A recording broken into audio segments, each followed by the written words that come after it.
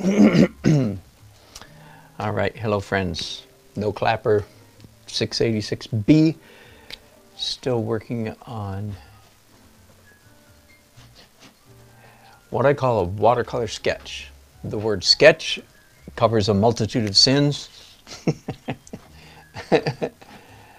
uh, it means that I, I give myself permission to do a lot of things that a serious, quote unquote, legitimate watercolor artist would not give themselves. And I say all the time too, I said in my class last Saturday that uh, you certainly could not get into, say, oil painter, I mean, Watercolor Society of America. Is it society? Anyway, you couldn't get in with this with this kind of kind of work, of course. But who the heck cares? I'm not trying to get in. All right, back to the job.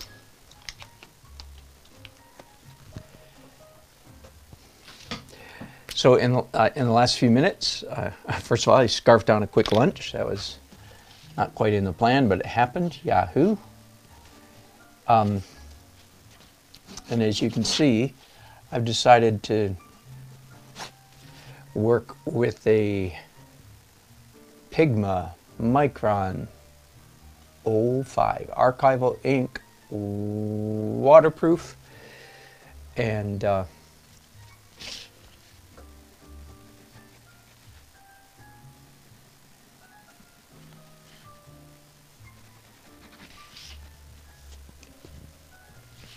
and the the main purpose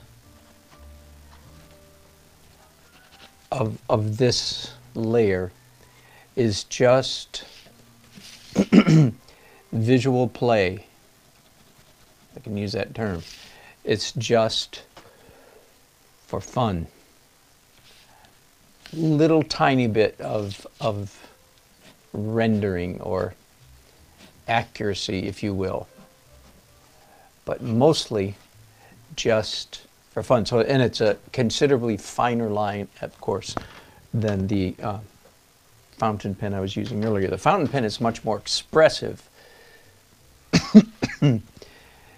um, it, it does thick and thin. This this pen not quite as much, and but it's a finer line. Anyway, uh, that's all pretty obvious, I'm assuming. So I prattle on for no good purpose. prattle, prattle. Hey, it's that Dan Nelson guy again. Let's go watch him prattle, or listen, as the case may be. And some of you are saying, I don't get what's prattling.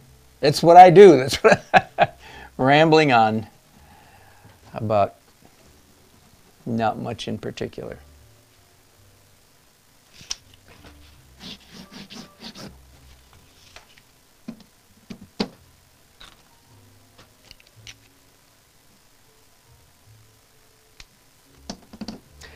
Think then, I think now I'm going to uh, pursue a little bit of local color. If I can find it all in the notes. Here's the main thing, the main page of notes. Uh, that's right, this chair.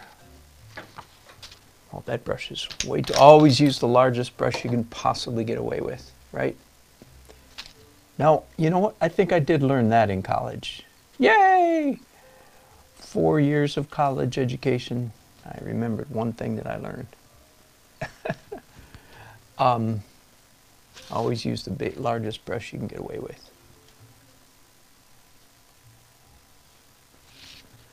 So that chair is green.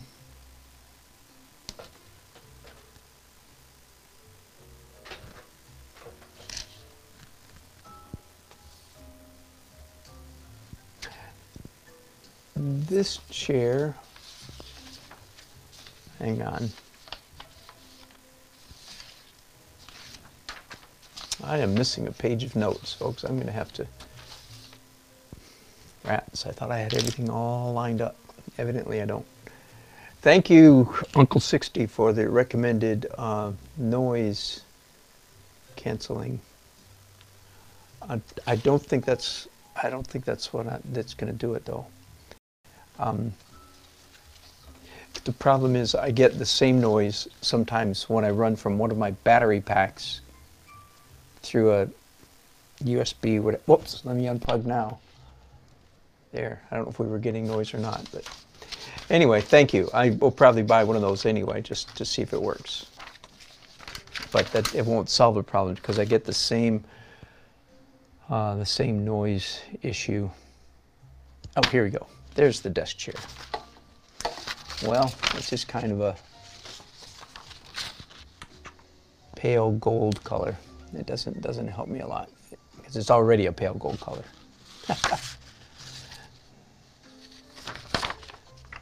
Let's do some of the, uh, this desk here has dark wood has looks like a slate stone surface on it.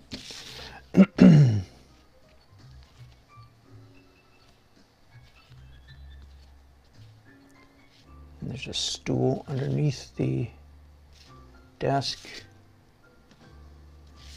Also, it's brown with some books or something like that piled up on it. And there's some books there. This lamp is essentially gray.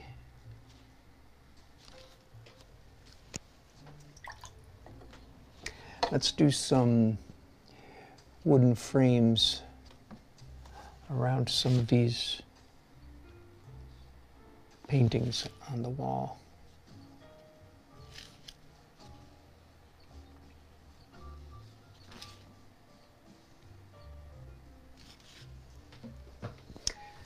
Let's do uh, gold frame. I don't know if gold frames are in or out. That's a bad thing about me doing renderings. I don't keep up with current trends in hardly anything. Designerly clothing, uh, you know, it's just not my not my thing. So if you want me to do a rendering for you, you better tell me what's in and what's not.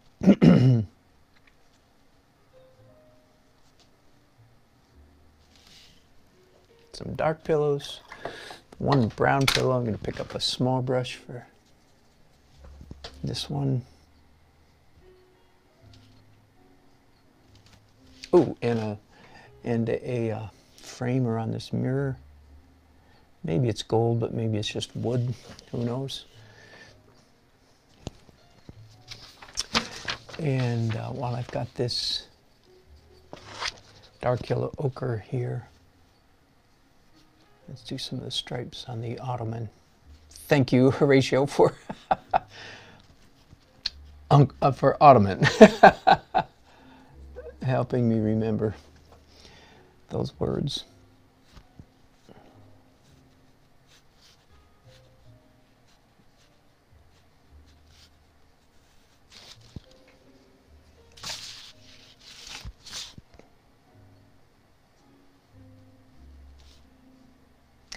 And here pretty soon, here, I'm going to be ready to do my first layer of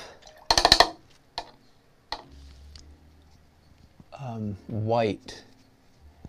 And uh, there are many different, many different tricks that I use for the white layer.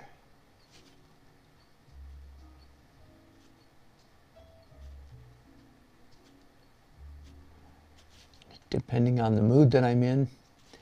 And I think today, well, this chair has black legs. Let's make sure we get that get that right too. I think today I'm in the mood to do my white with um, hang on, looking at my notes again this, this blanket here, this comforter here on the base of the bed is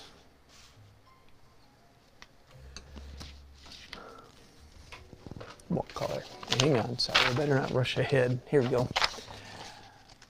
Bed, there we go, okay. So yeah, it's got these kind of kind of greenish blobs with with goldish filigree kind of stuff in between the gold the green blobs. It's a pretty good description, don't you think?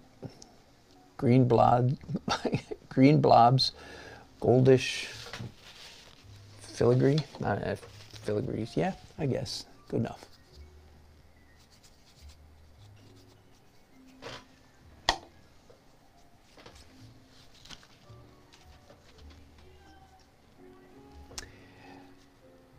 Um, so I'm going to do um, my first layer of white with uh, acrylic gouache. Acrylic, no, no, acrylic gesso. Sorry about that. Acrylic gesso. So the my my rationale here is that the um, sorry, this area right here is supposed to be brown. The gesso will dry um, waterproof, impervious to water, so that I can easily come back and do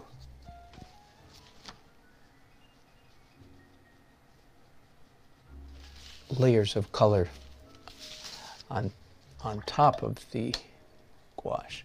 All right, and I think I'm ready to go to that right now. So forgive me just a second. Let me go over here again to my somewhere. One one of my watercolor kits. All of a sudden I'm not sure which one. All right I think I think it's in this bag right here.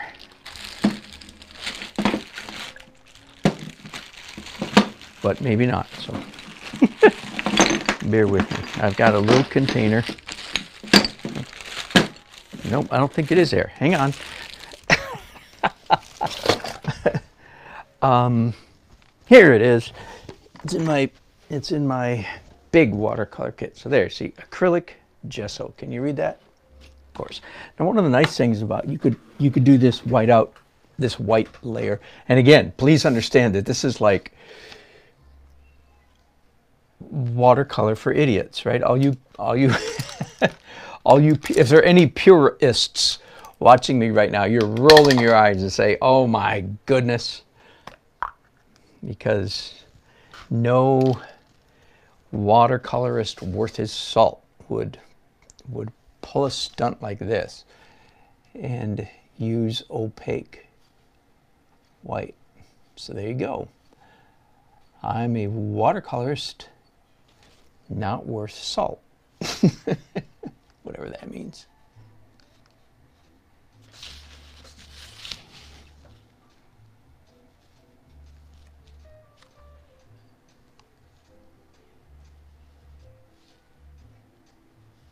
And just whatever I feel like making white, I'm just going to go ahead and do it.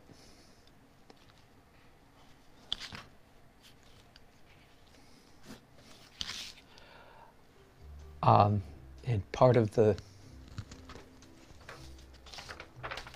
trick, part of the trick, part of the shtick here is that um, I can come on top of this white with more washes and I'll almost certainly do that. Does it make sense? So what's going, what is going on right now is pure white is likely to be toned down here in a little while with a, a, a wash, a watercolor wash going on top of it. So again, so I, again, I'm making no pretense of being in this in my technique. That's why I call it watercolor sketch, so I can get away with moira. I can do whatever I want. Leave me alone. I told you it wasn't real watercolor. I can do real watercolor, and, and enjoy it sometimes. I was a watercolor major in college and spent most of my um, illustration career doing quite a bit of watercolor among many other mediums. Um, I always say that word that way because if there's any English majors listening, they're saying, uh-uh, it's media, media. The plural for the plural for media medium is media, not mediums. And you know what? Go jump in a lake. I, um, I think it's because art majors aren't necessarily given to over grammatical fussiness. So I think if you say to a bunch of art majors, what media do you use? They'll think you're talking about social media or something like that. So anyway, I call I call art mediums when there's more than one. I call it mediums. Oil, watercolor, acrylic, pastels. Those are all mediums. And of course, if you'd rather think that mediums are people on the side of the road that tell your fortune, that's your prerogative. and I'm just saying that to drive you English majors crazy as well. I'm trying to get you all frustrated.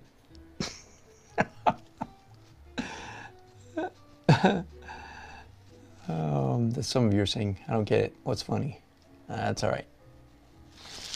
You don't have an English major in your room, in the room with you right now.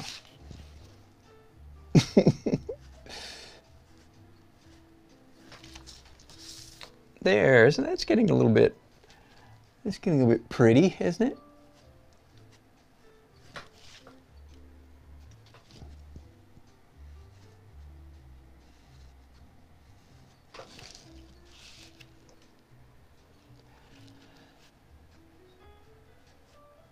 Had a real decision to make um, with this rendering, and that was uh, would it be a nighttime scene? The windows would be dark, and all the light in the room would be coming from the light fixtures. Or do I make it a daytime scene? And as you can see, that's the way I've chosen so that all the light fixtures are essentially in darkness. And you can see that's the way I, right or wrong, that's the way I chose to go with it. I hope my client agrees with my incision. I'm just being stupid now. That's not even clever.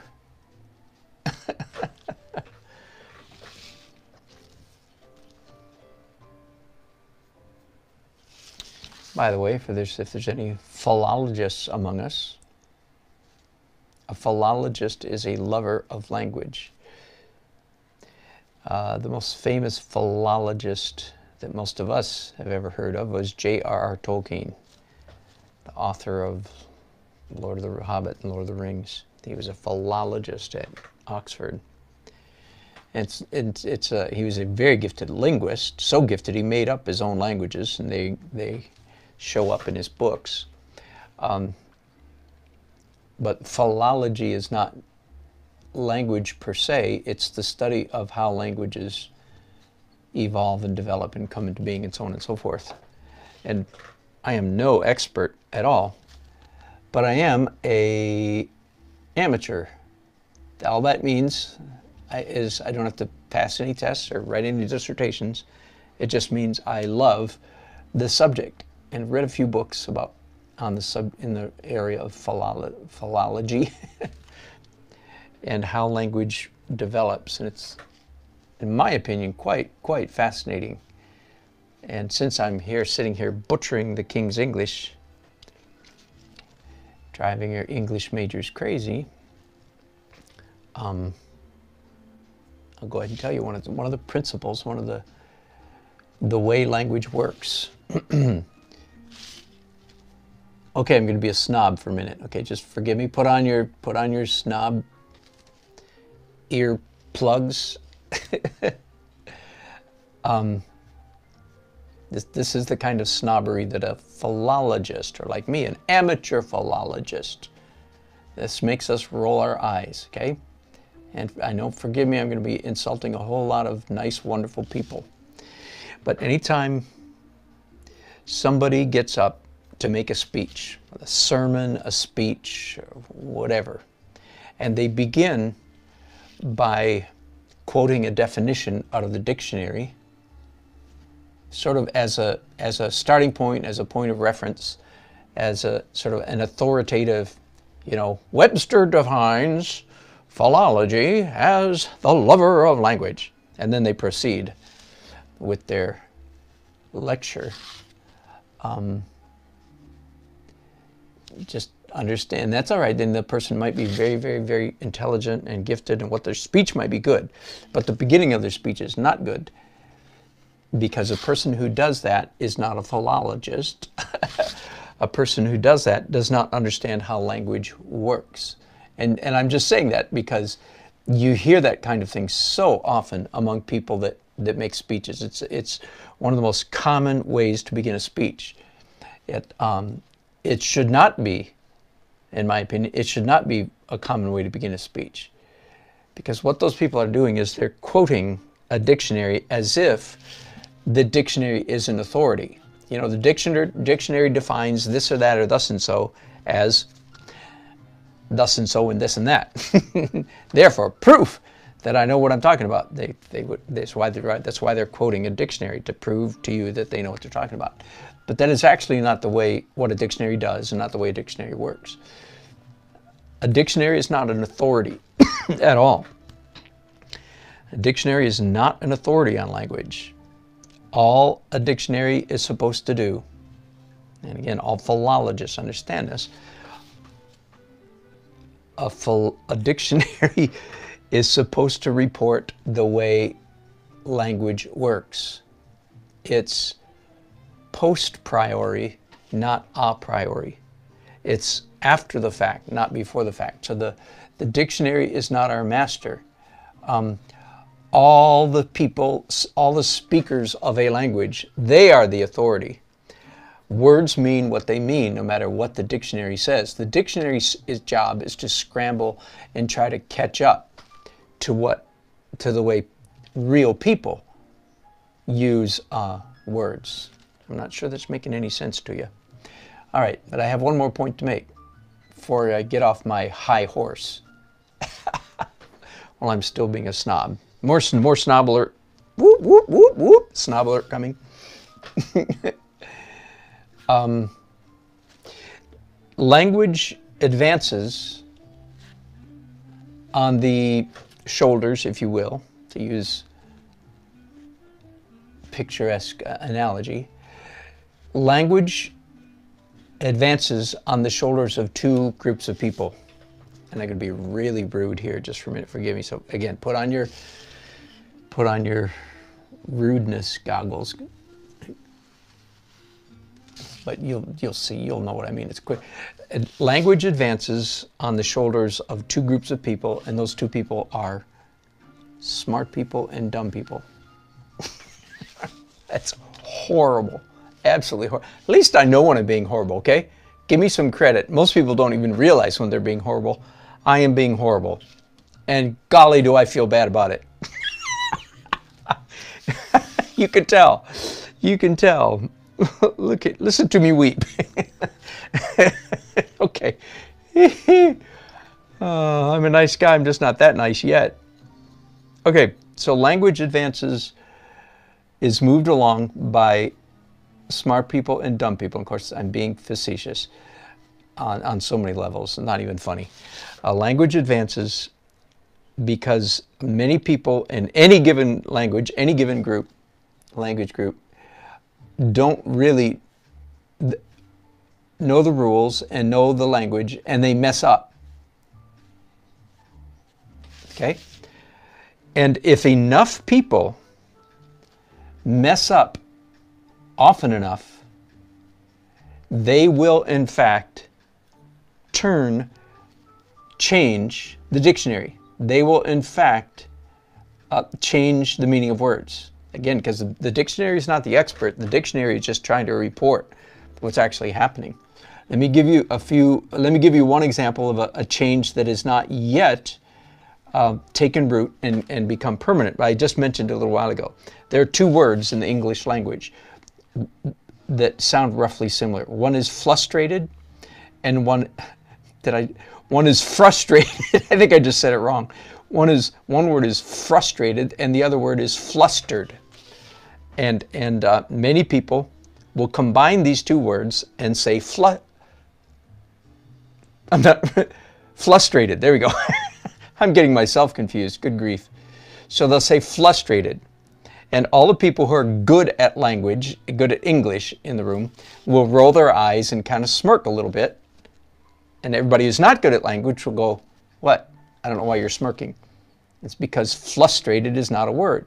It's a combination of two words, flustered and frustrated. But listen to this. If enough people, eventually, more and more and more people use the word frustrated, guess what? Eventually, it becomes a real word. So language is advanced on the shoulders of dumb people. Forgive me, I'm being horrible when I say that. Now, what I really mean, and, and they're not dumb, by the way, they might be geniuses at other things. They're just not geniuses at language. That is, that's the, that's, that's the accurate truth, okay? Um, so language is moved along by people who don't know what they're doing. Since I'm this far into it, just for I told you I was an amateur philologist. Um, that means I don't really have to be good at it. I just like it and I like reading about it and thinking about it.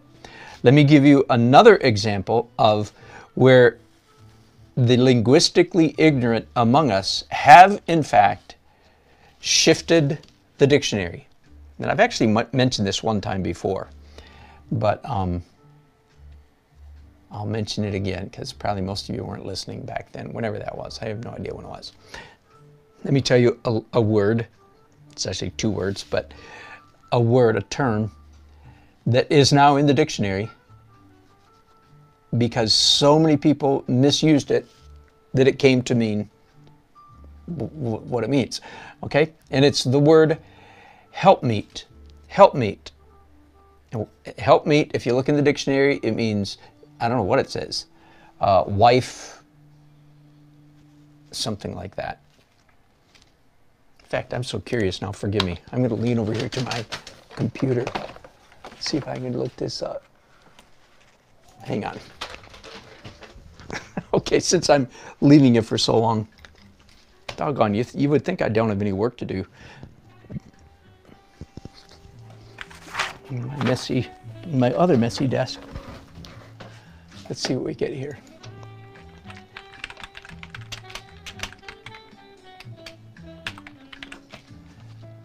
Definition of helpmeet. Man, my computer's been running horribly slowly this morning. Oh, okay. They changed it to helpmate, M-A-T-E, by the way, which is also the way language. Here it is. Helpmate. a helpful companion or partner especially one's husband or wife. this is hilarious. Then there's ancienthebrew.org. What does help me mean from the. Oh my goodness. so all these pages, they, they, they are all Merriam Webster. Oh, that is funny. I'm sorry, as a, as a amateur philologist, I find this hilarious. Helpmeet, one word, helpmeet. so there, there are some of us, oh my goodness. Oh good, here it's got the history and etymology. Let's see what they say. I'm going to tell you the etymology of it here in just a minute. All right, no, that's enough. That's enough. All right, point point made. Okay, so help me means a helpful companion, especially uh, a husband or wife. now, There are some of us, not very many, I grant you. Very, it's a very narrow, narrow segment of the population. There's some of us that grew up in conservative Christian homes back in the middle of the 20th century. Well, actually, for the last four centuries, but until as recently as the, as the last uh, the last generation. My, my, my generation is the last one. Anyway, some of you, this is old news. Some of you have never heard of this before. Okay, there was a translation of the Bible um, that was translated. That's a redundancy, isn't it? Okay, forgive me. The, the Bible was translated in 1611. Think Elizabethan English. Think uh, think um, hang on just a second. Okay. Think um, Shakespeare. That's just a little bit after Shakespeare. And if you've read Shakespeare, you know how archaic, how hard it is to read, for us to read Shakespeare, because it's so archaic.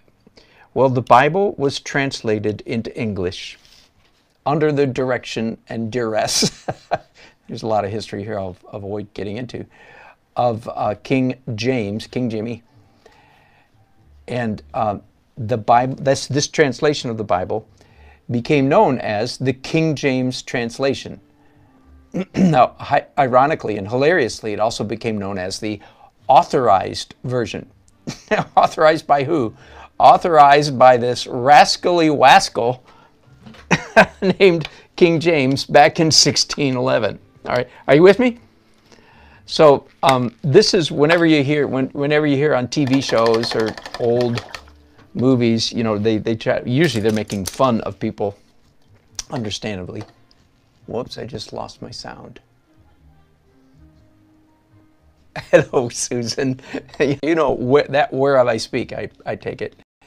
And I just lost my sound. Okay, I hope I'm still. I'm going to turn up a different monitor to make sure I'm still. Um, Shakespeare. all right. So in the King James Bible, which please understand, this is 400, now 500 year old English.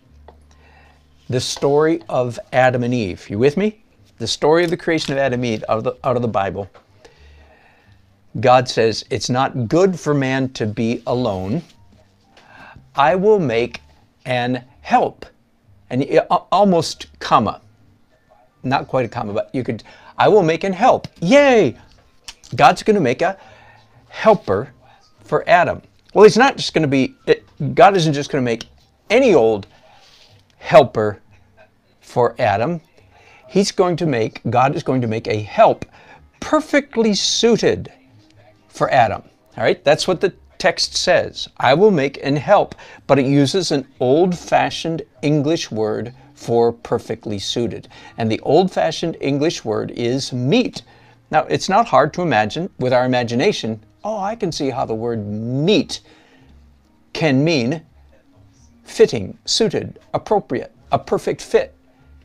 If you have, if you have a, not everybody does, but if you have a, a linguistic intuition, um, that makes perfect sense to you. Oh yeah, right, I can see that. The word help, uh, the word meet, used to mean appropriate, fitting, because it, it meets the needs of, of the person in question. Okay, so God said, "I will make," and and it's not a helpmeet as it would be in modern English. The, in those days, um, you used the and the closed form of the indirect article, not a help helpmeet, which it would be in modern English. It was old fashioned. And help.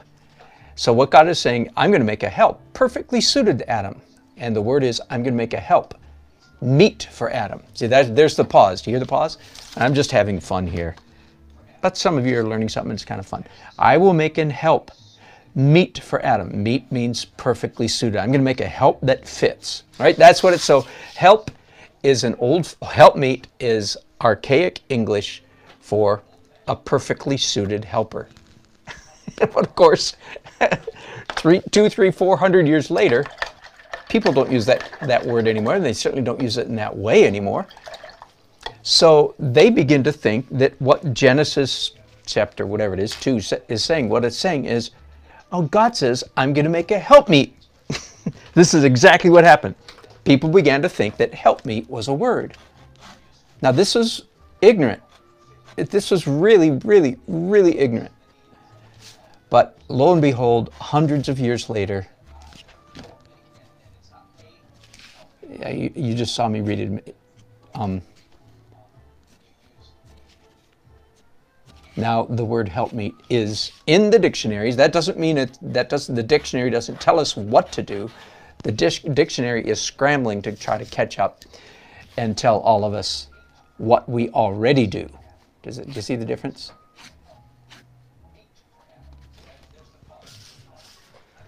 So how did I get onto all that? How in the world did I get on that subject? I don't know, but doggone wasn't it fun. I do have here at the risk of alienating or angering some of you, which I hope it won't, but um, I, let me let me this this philological sense, this this having a intuitive feeling about language um, comes in handy. Oh, I know what I was going to say. So there's two kinds of people at advanced language: those who don't know what they're talking about and are make and make mistakes, like help me hilarious, joke, mistake, stupid. That's stupid people changing the language. The other kind of people that change language are smart people, and that's a horrible judgmental statement. But the point is, there's some people who intentionally make up words because there's not a word in existence that we already do. Now, I vainly, as you can imagine, I vainly like to think of myself as fitting in that second category. That's why I use words like artistic mediums. I know it's wrong, but it shouldn't be. When it comes to art, and let's let's you and I agree to come back and revisit the planet in 150 years and find out if my little revolution succeeded or failed, okay? If we come back and everybody's using the plural mediums for artistic mediums, we'll know that my little personal revolution succeeded. If not, I'll be thrown onto the dustbin of history like everybody else. oh, okay. Are we having fun? Well, I'm having fun. Sorry about the rest of you. oh, oh my goodness. and evidently my sound is working just fine.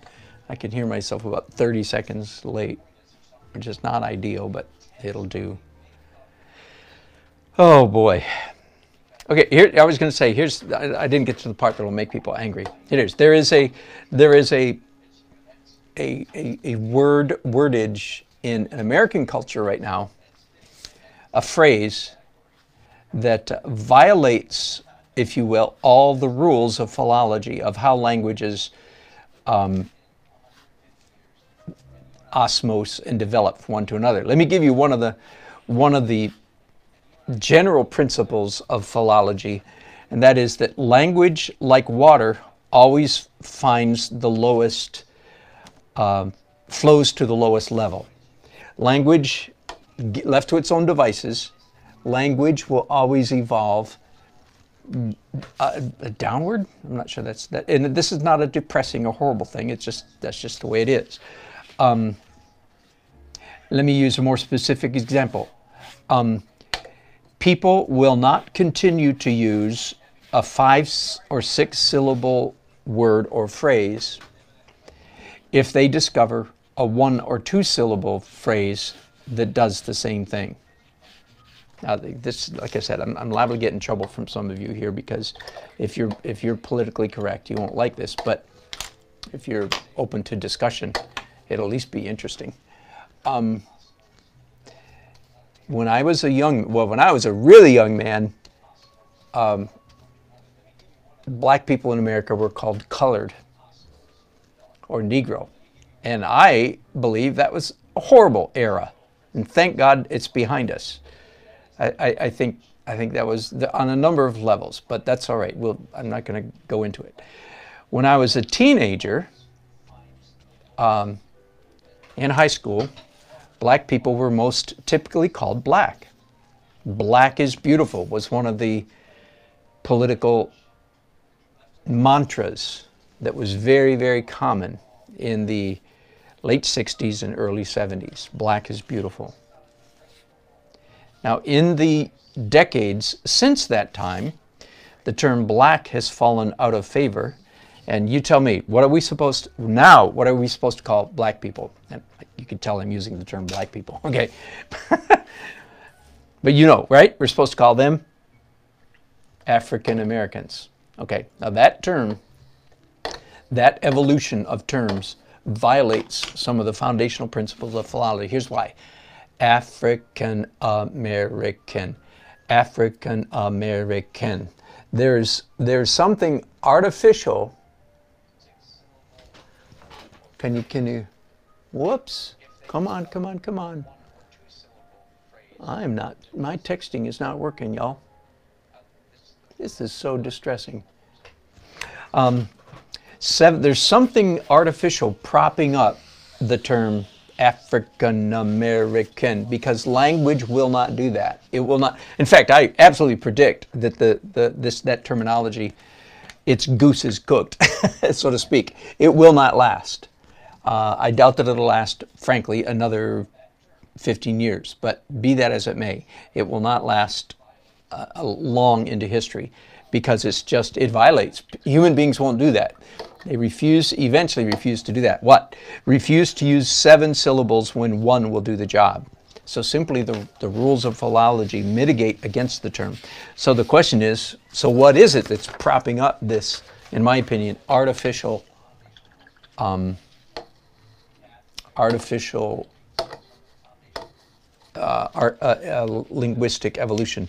And the answer, of course, is, if you will, whatever you want to call it, political correctness or um, um, hyper racism, which is, an, an, again, that's a hypersensitivity to racism, hyper fear of racism, um, because America is in fact coming out of a more racist era into slowly but surely into a less racist era. And because we're coming out of that, we're hypersensitive to anything that might sound racist. And, and, again, I could I could go on for literally for hours, and I will not do so. But um, so that's just an interesting to me, an interesting as a hobby uh, amateur philologist. Um, that term, the, it, it's it's destined for the dustbin of history it will not last. And we use it at the moment because of fear. We don't, because, because we're coming out of an era that was grievously racist, the whole Jim Crow era. And frankly, the great, great, great, great majority of white people recognize this easily, quickly. We say, oh, yeah, that was bad. And we are indeed sorry for that era. And uh, so therefore, we bend over backwards. Um, it's like a person who comes out of truly a racist culture, um, and then they they see the light and they go, "Ooh, I don't want to be that anymore," and then they go through this uh, artificial season of of evolution in their own thinking, where they then try to pretend that all races are the same, so that they're very uncomfortable um, recognizing. They won't see. They won't say, "Oh, see that black guy over there? They won't say that. They'll say, "Do you see that gentleman over there with the with the blue shirt?" Even though there's 50 people over there with blue shirts on, that they, they can't bring themselves to say the black man over there if he's only there's only one or two of them over there. Do you understand? So we go through this season of hypersensitivity, which is where we're at right now. And uh, anyway, you might find that interesting. You might find that whole thing extremely offensive. and sorry. in which case, I, evidently, I'm just going to chuckle. Sorry about that. I do feel bad deeply. You can tell by how hard I'm crying. Anyway, because uh, there is light on the other side of the tunnel, the hyper, the uh, hypersensitive tunnel, and that is where you come to the place where you uh, recognize that all races are, be- are in fact truly beautiful, and you don't have to be afraid about recognizing and affirming the differences between the races, because that's a good thing, not a terrible thing. Uh, oh boy, philology. How, how do we get on that? And, and I am one who makes up words because I hope to be on the right side of the language changers. All right. Um, I'm still not getting any chats, even though I've got 19 people watching. That is that is irritating, folks. Let me let me see. Turn it back on. No, maybe nobody said anything except Heather. Hello, Heather. I'm going to add more um, blue. So theoretically, because I used gesso for this whiteout, theoretically I can do colors on top of it.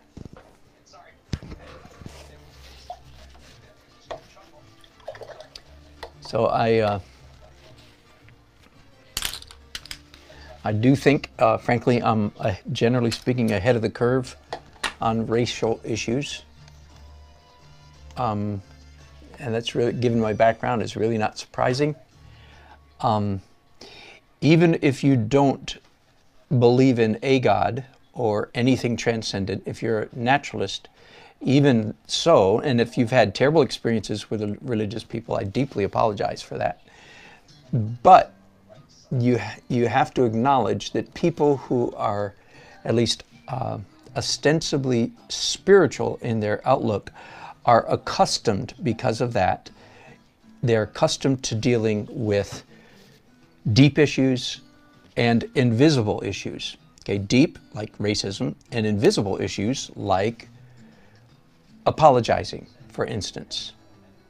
Whereas people who are um, purely naturalists, they don't they think the only thing that exists are those things that we can measure scientifically. Um, they don't believe in invisibilities. Can I speak that overly bluntly? Therefore, they tend not to be as rehearsed in things like uh, apologizing and repenting uh, and forgiving.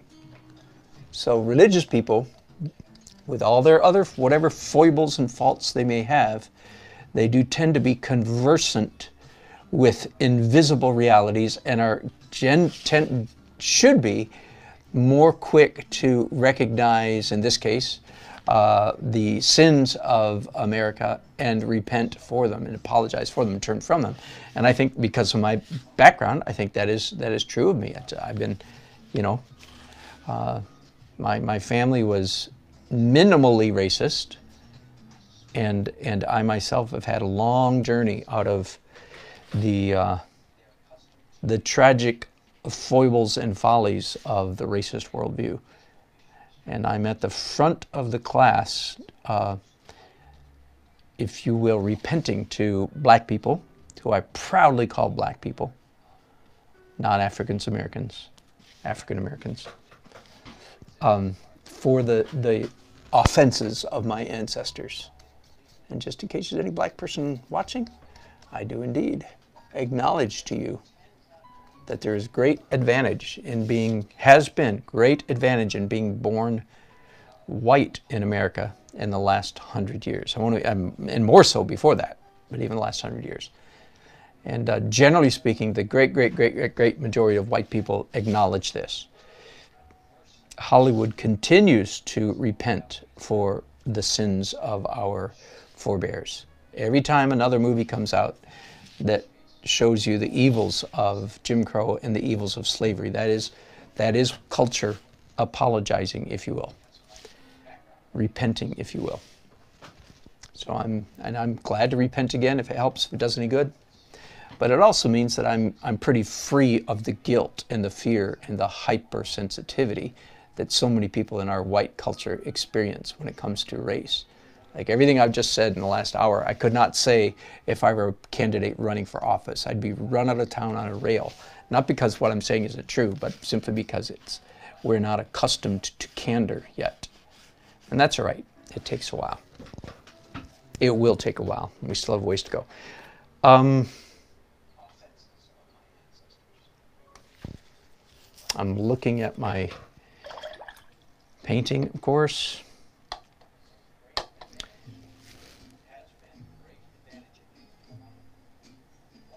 Trying to decide what to do next.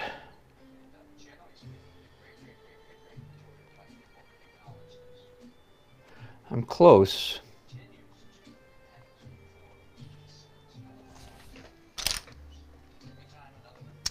Um, I think I'm going to uh, tackle the wallpaper pattern next. So I need to go back to the original illustration that I used, that I traced.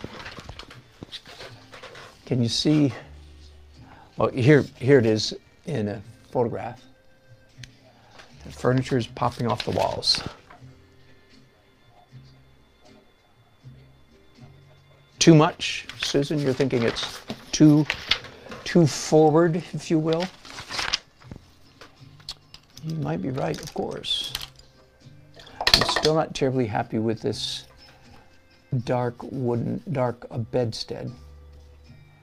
When I was painting that, remember I was talking about Barbra Streisand and about how watercolors, they dry lighter than they go on. And then after I did that, it's too dark. So I have here, um, this is a regular part of my watercolor equipment. It's a bristle, old, worn out hog bristle brush. Oh, good. Thanks, Susan. Appreciate that. Good. That, that, that sounds like a good thing. Yeah, that the, the furniture is forward, right? Good. Um, anyway, a bristle brush for lifting in fact, while I've got it, let me do a little bit more of that.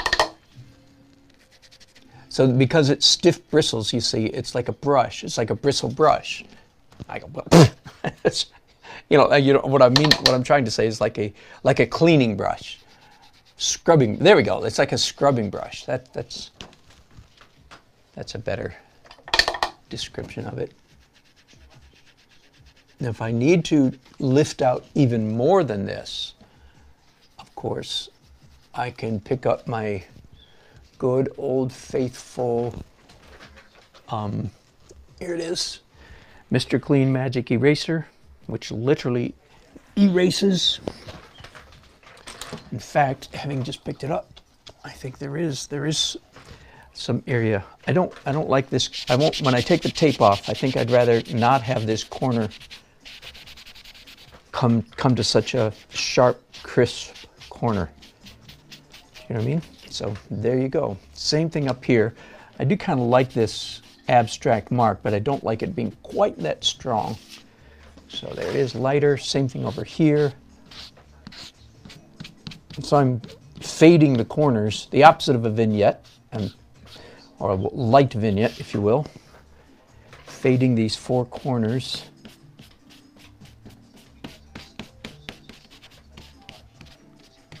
Um, and here I'm using um, the Mr. Clean Magic Eraser in conjunction with masking tape, which is a good trick if you don't know that one. Here, let me, let me show you just for fun. Let's do. There's a, there's a place here where I could really use, I would like the seat, the top cushion of this chair to be and the rug almost looks like it's raised. Well, because maybe because of this band that I have around it. I will look into that. I'll try to look at that with fresh eyes. Thank you for that thought here in a minute. All right, I'm gonna. This will be. This could be instructive for some of you. Now, good masking tape. I, I'm more comfortable with this, you know, froggy tape or, you know, instead of the old-fashioned tan beige masking tape, which wasn't quite as high quality the blue or the green stuff is better quality. And what I'm doing is masking off the seat of this chair. And I really don't, I don't need to do it. I don't think, I'm just taking advantage of, of to do a good, uh, a good demonstration here. So pretty simple. There, got it? Now, Mr. Magic by the way, this it's called a magic eraser. It took me a while to figure out how to use it. Um, oh, good. Somebody else thinks it's a box too, so I should look into that. It really does act like an eraser. In other words, you really, you really do want to rub it, uh, and it and it leaves it leaves crumbs the way an eraser does. And let me pull this up and see if that's. I think that's as light as. Yeah, there we go. There we go. That was nice. So now that the top of that chair is popping forward a little bit, and now I've got another problem. uh, let me think about this. Yep, I think so. Okay, let's do it again. Same thing. I want the, now the, am I in, am I in the shot? There we go. I want the front of this, the front of the back of this chair. Am I making sense? The front of the backrest. Of course, if I was really fussy, I could take some tiny little scissors or an X-Acto knife and, um, you know, cut this out real, really precisely. Well, evidently I'm just not that fussy. Uh, uh, this particular illustration um, can handle this degree, this amount of uh, imprecision without, without damage, I believe. So there we, here we go again. Same trick. So make sure the edges are all nice and firmly mashed down. Pick up the magic eraser and just rub a little bit. that didn't take much, did it? There, I'm done already. Now let's peel this off slowly because there's some wet stuff around here. All right, there. So the, the seat and the back of that chair are light and you got a good chance to watch that uh, Mr. Clean Magic Eraser uh, in action. I'm going to do a little bit more um, lifting. Now, with again, with a bristle brush, um, it dawns on me that here between the, the legs of this, there's a stool under the table and a chair in front, uh, in, under the desk and a chair in front of the desk. So I have all these dark verticals, right? And it dawned on me that just the way I do in my oil paintings is a good opportunity for punctiliar light, I like to call it, like bits of spots of light coming through the darkness. So that right there, just a little artsy, pleasant artsiness right there. And the, the, the front of this chair if I'll make it lighter, then we'll get more of a sense of dimension.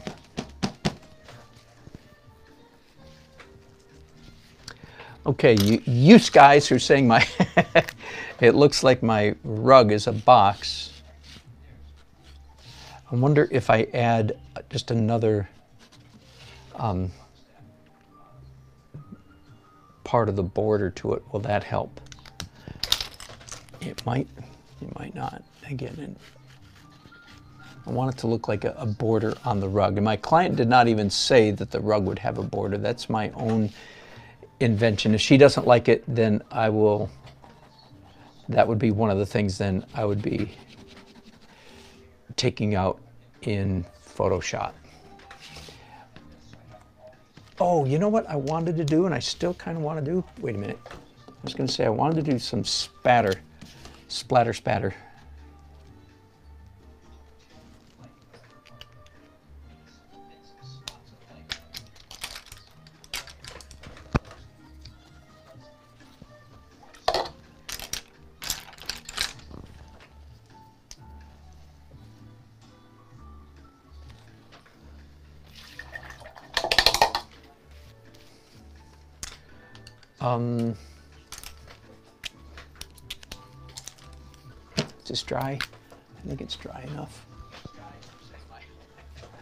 It's the strangest thing, y'all. I'm so sorry that I'm not seeing all of your chats okay, on my iPad, which is the, the monitor I use to, to see your chats when I'm all done. So I'm going to turn my iPad, turn it off, and reboot it back up and see if I can fix that.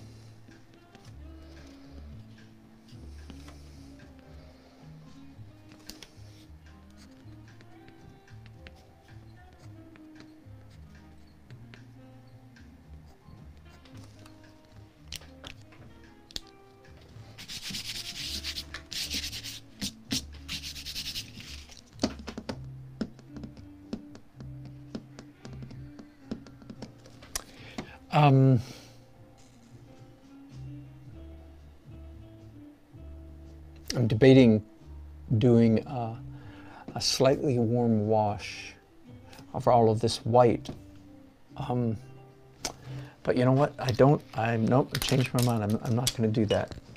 All right, now, several, many minutes ago, I said, let, us do this uh, wallpaper pattern. This is going to be a bit of a trick.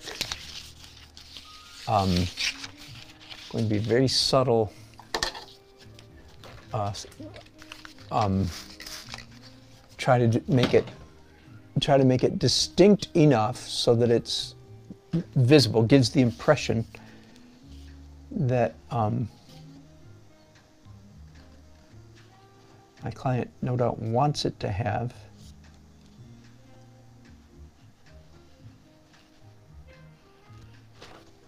I think I just missed a chat from one of you wonderful people. Sorry about that.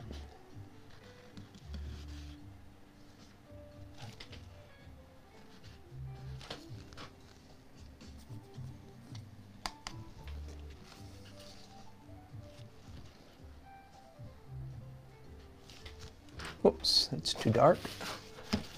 And I want to put my glove, a glove back on. One that's not damp, however. Thick rug. Yeah. It is kind of thick. I don't know. I don't know if it's supposed to be thick or not.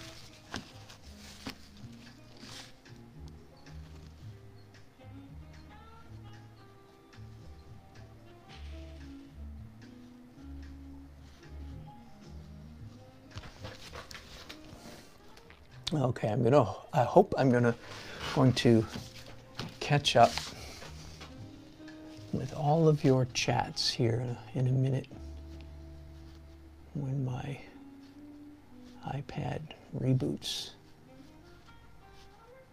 I really do like seeing what you guys have said.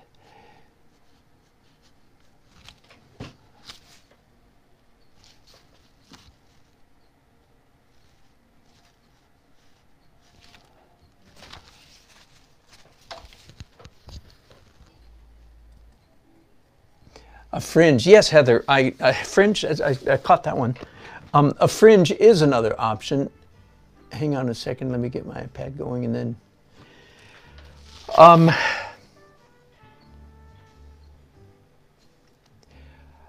and I don't know. I just I have a an intuition uh, that my client is a little bit. Uh, tends toward clean lines, a little bit more contemporary.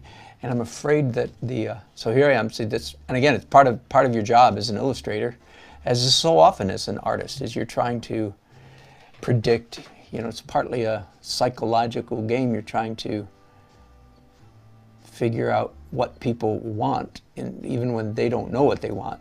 Um, I think it would be too. Um, too gritty or too country or something like that. I may be wrong about that. Um, but I'm, I'm, thinking about it even as I say it. I'm trying to decide if that's correct intuition. Um, and if she does want, the, the one good news is she, if she tells me, oh yeah, fringe would be great, then that's an easy add. Easier to add it than it would be to take it off. So I'll think I'll leave it off for the moment and we'll find out. We'll all find out together if I'm right or wrong about that.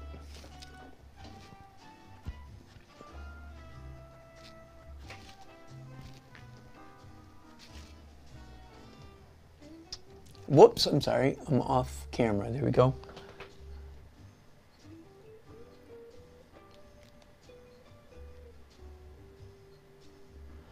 Okay, coming back now online. Now let's see if my iPad is of the opinion if it's inclined to uh, give me all your chat. Oh, there we go. Somebody's apologizing. Banger 355 apologize for the viral wall com- comment, rug comment. oh, that's funny. we got stuck on it and went went crazy with it, didn't we? That is quite all right. and and it was worth it was worth thinking about. And and I could still come back and uh, look at this look at this uh, the rug and see if there's anything I can do to make it not look like a box. I think it's okay. I, I, at the moment, I think it's okay. And it, I think it did help to add those extra lines so that it looks like trim instead of like it's raised up. Good, I'm getting a vote of confidence from Susan who doesn't like fringes on her rugs. we get personal and intimate around here. So, so, Susan, are you a fringe on or a fringe off kind of person? I really have to know. if our relationship is to go any further, we have to know. We have to nail this down. Let's say it's a fringe issue. Let's say it's not a fringe issue.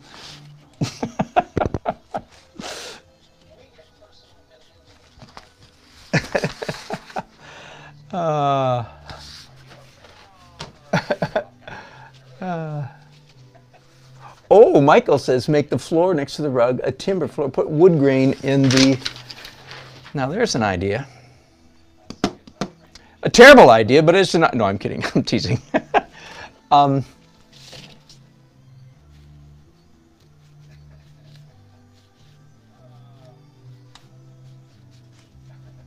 as you can see, Michael, I'm, I'm going to go ahead and give it a whirl. I'm not even sure that it, it, it's, I'm not suggesting necessarily a hardwood floor.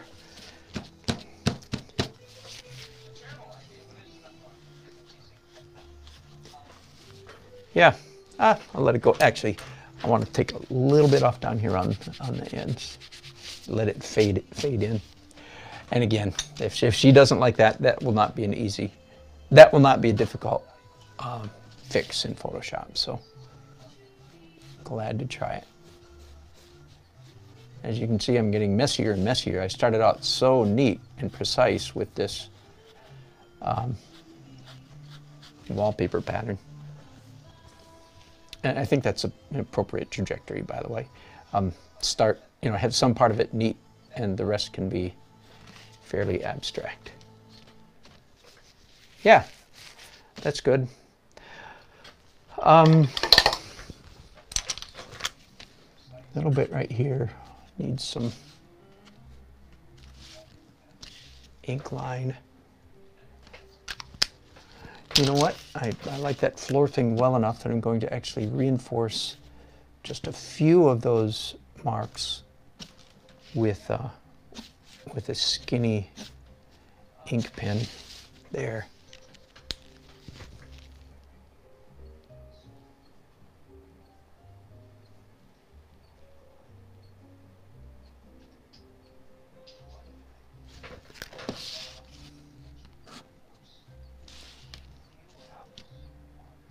She had mentioned green piping on the edge of on the um, trim of that chair.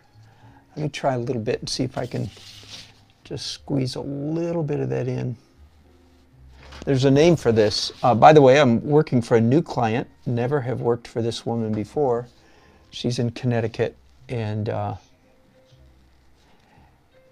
don't tell her this. um, but she gave I, I, she gave me a couple words I had to look up. What were they? Some of you, well, first of all, mood board. I didn't know what a mood board was. I figured it out just by common sense, but that was that was new to me. Makes perfect sense. Let me show you what a mood board is. Maybe this is this is probably a uh, interior designer terminology. I would guess sounds like it. It's a a page. Ah, I'm not finding it. My papers are getting messy, as you can imagine. Anyway, it's kind of like this, but it has all, kind of like these two things together. It, it shows all the different fabrics and textures and things that are uh, going to be used. So that's called a mood board. Who knew? Like I said, learned learned a new word. Always happy to learn new words. By the way, that's one of the things that those of us who are enjoy language. That is one of the characteristics of people like me. Oh, here it is. It fell on the floor. Is people? Some people enjoy hearing words that they don't um, that they don't know because it, it, that's an opportunity then to learn the word. So this is the mood board, but um, I, I, can't find. I don't waste your time looking too long. But there were a couple other words. Um,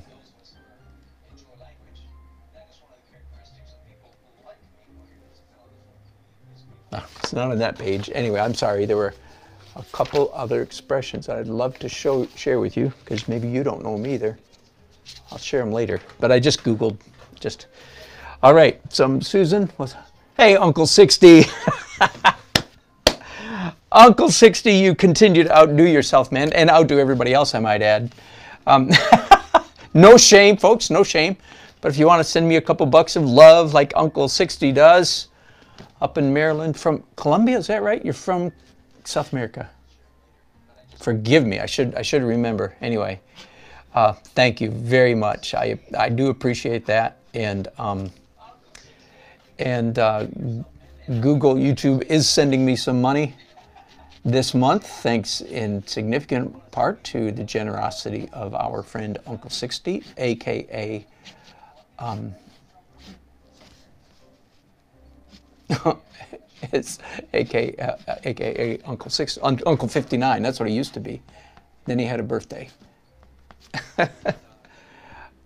Okay, somebody said a little mon- monochromatic. Um,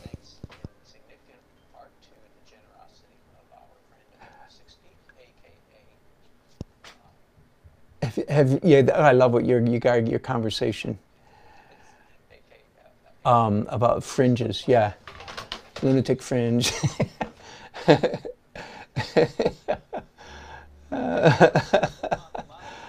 Uh, oh, Susan says, need a little bit more color, Dan. Looks so monochromatic on the left.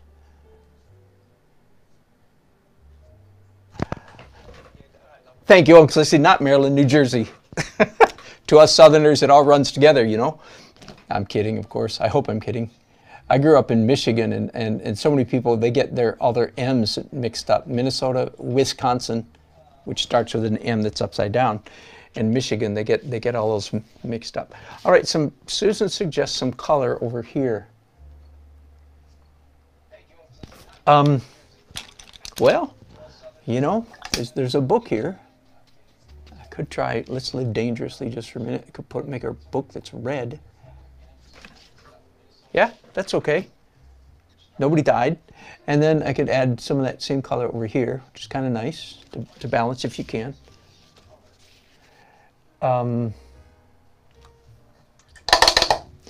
and um, I think I was being so careful with the blue that I didn't want to overpower it. I think I was too careful. So add some blue in a couple of these paintings and add some blue into this uh, sky out the window.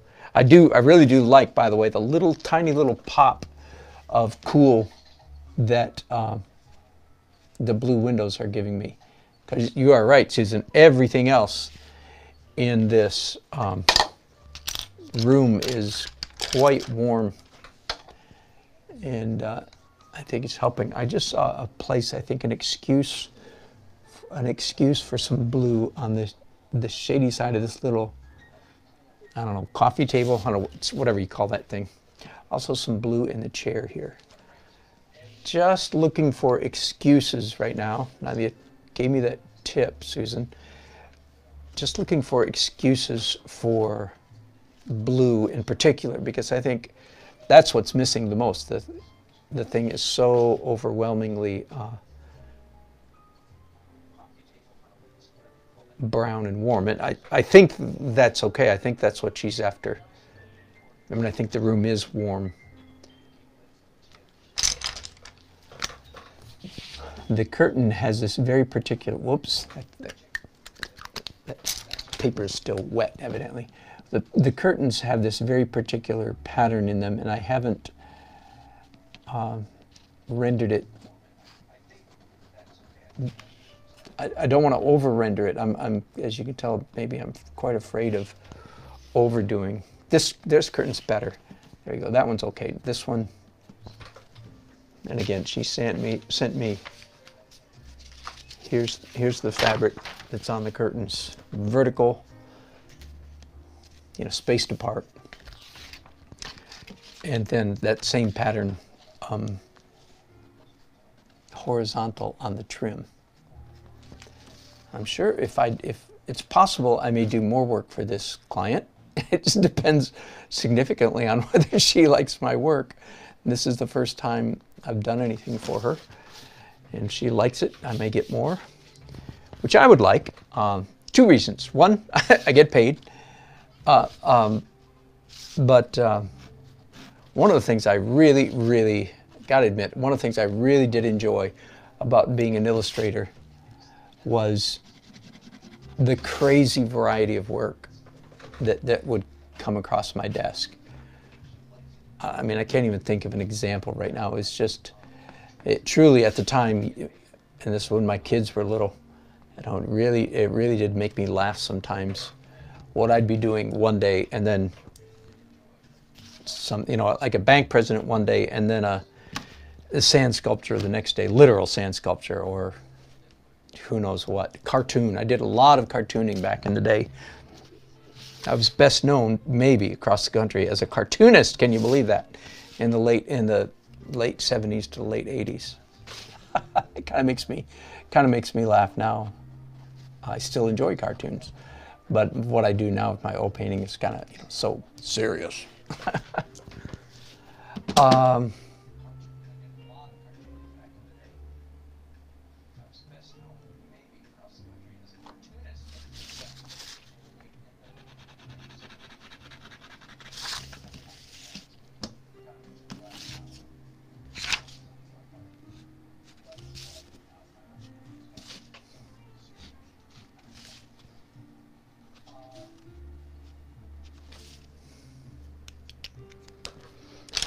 I'm going to do, I think, one last thing, and I may be done.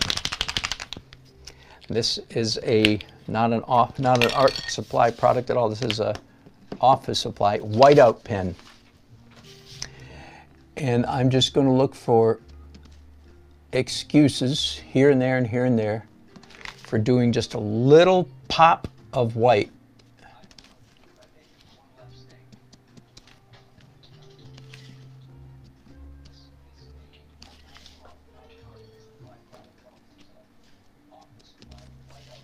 Uh, and I'm not, am not as focused on realism uh, here as I am just at the just the abstract pop, if you will.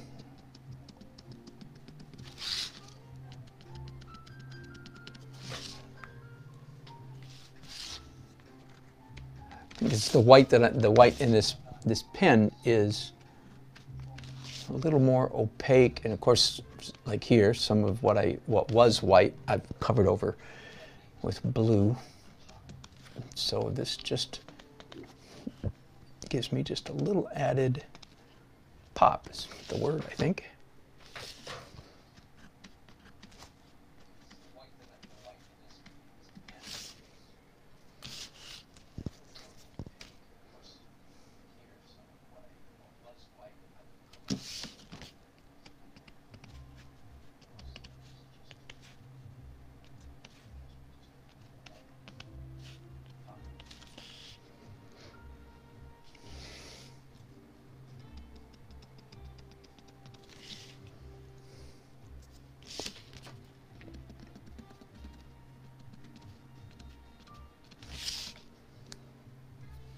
Um, you know, uh, arch architectural rendering like this, essentially what this is, it just happens to be interior architecture. Um, fascinating um, art, art form, fascinating art form. Um, really trying to strike a balance between accurate representation on the one hand, and you know, art, artistic flair, perhaps even might be the word, on the other.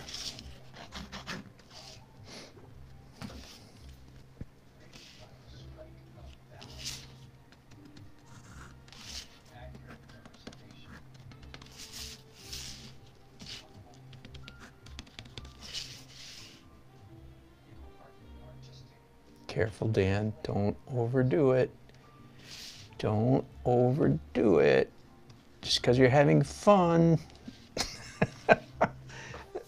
Just because you're having fun. That, that's, what, that's when you're in danger of overdoing it. That used to be one of my mostly immutable laws of painting. If something is a lot of fun, be careful not to do too much of it.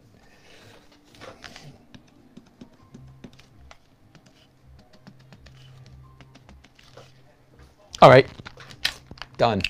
I, of course, I, I can change my mind, but let's do the, the fun unveiling. This is, this is like Christmas time, always, when you take the wrapping off the illustration and see what it, see what it really looks like.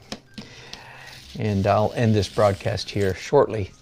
Um, I will, of course, put this paper on my scanner. Scan, whoops, I got a little bit of bleeding right there easy to fix in Photoshop. Anyway, I'll put, scan it into my computer and then tweak it in Photoshop. And the goal, for me at least, this is an illustration, right? What, what my client cares about is what shows up in her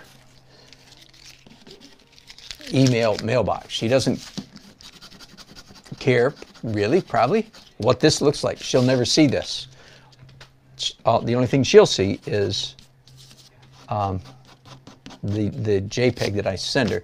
So always my goal in Photoshop is to make it look better than this. So I can do things like, of course, take uh, um, my saturation slider and go and, and boom, pump up the saturation, then I might take like the yellow and slide that down because it looks a little bit yellow to me, etc., etc. I'll, I, I'll try to remember to post the finished image, um, the image that I send to her on my YouTube community. All right, I appreciate you, you crazy people texting at me here. Let me, let's turn you around just while we get out of here. Uh, Karen says, we used to put diagonal lines on the windows. Karen, run that by me again. What do you mean? Oh, that's right. Karen is one of our, um, we used to put diagonal lines on the windows. Oh, like indicating sort of like glass? Sort of like I did on the, I did that. Did you see that, Karen, on the mirror here? Sorry, Anna, sorry about all the shaking around. There, do you see the mirror? I did that, and then after I did, I thought, oh, that's kind of cheesy. Not that what you did was cheesy, but it made me a little bit. Stop. Heather says stop. Okay, there. Only a few minutes after you said so. Um, how, would, how is my client using it? Some kind of presentation. I'm, I think it's going in a print, in a magazine or poster or something like that. Um, I, I don't know exactly what she's doing with it. Do watercolors, I'm going backwards now, do watercolors pick up color on your brush as you add new colors? Yes, yes, yes. If so, put blue on top of red. Does your brush get muddy as you go? Yes. Um, yeah, you have to be careful. I mean, if you do it quickly, it'll lay down paint, but if you go slowly or rub back and forth, it will, of course, pick up what's underneath it, very much so. Um, yeah, the color pushes depth, depth, it did. All right, it's been great fun having you guys. Thank you again for, thank you, thank you, Horatio, for your $3 coffee break. I'll spend that. Maybe on coffee. and uh, it's been fun having you on board. Appreciate it. Um, bye-bye.